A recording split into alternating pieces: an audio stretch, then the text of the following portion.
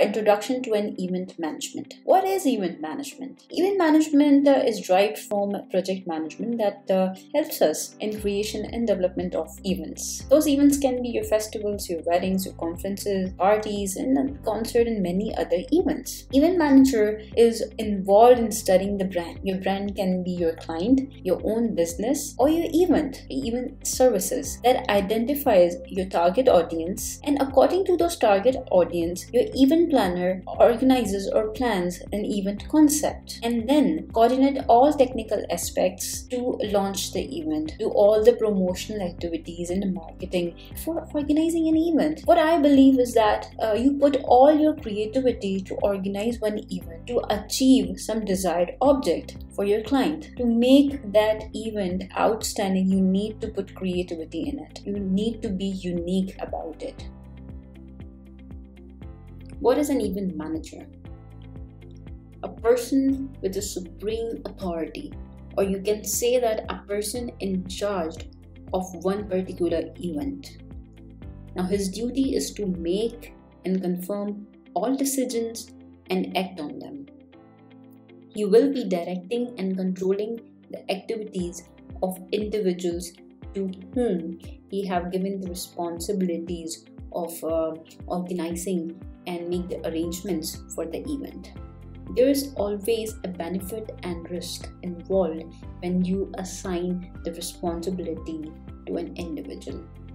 The benefit here is that an event manager share his workload with other team members and he can have their expert opinion about what they should or they should not implement uh, while organizing an event. But the risk here is also huge. If an event manager is gonna hire a lot of individuals for his event, then it may increase the level of uh, complexity and the miscommunication while organizing the event.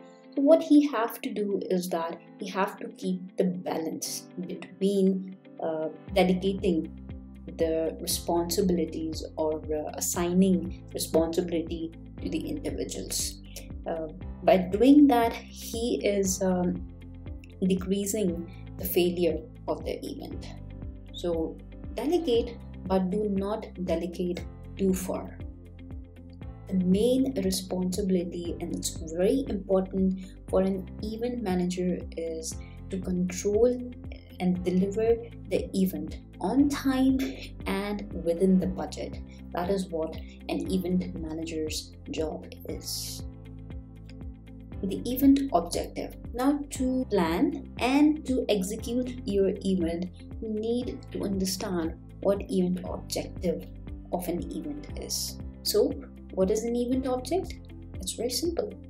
An event object is a statement that will tell you the reason why are you organizing this event. A simple example of an event objective is that uh, you are raising money to feed some poor. Recently i organized an event on self-defense and the event objective of the event was uh, to increase the awareness uh, related to self-defense that was my main object. Point is now how can you define or make understand an event objective is? Very simple.